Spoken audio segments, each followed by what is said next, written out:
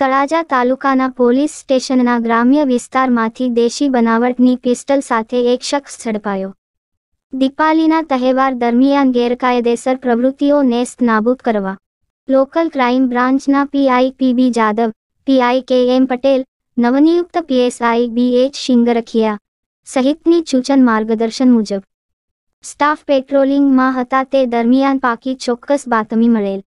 બાતમીવાળી જગ્યાએ PSI B S Shingrakhiya, PB Jebaliya, Arvindbhai Baraiya, Mahendrabhai Chauhan, Ghanshyambhai Gohil, Sagarbhai Jogdiya, Sanjaybhai Chudasama, Mahendrasinh Jadeja સહિત.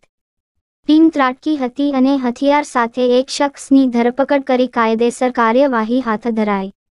Crime branch team પાસેથી મળતી વિગત મુજબ દિલીપ સુખો, બાલાભાઈ, મકવાણા રહે, દિહોર તાલુકો તળાજા.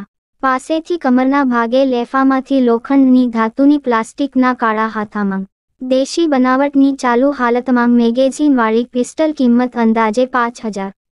સાથે આરોપીને ઝડપી તળાજા પોલીસ સ્ટેશન સોંપી ગુનો રજિસ્ટર કરી આગળની કાર્યવાહી હાથ ધરેલ.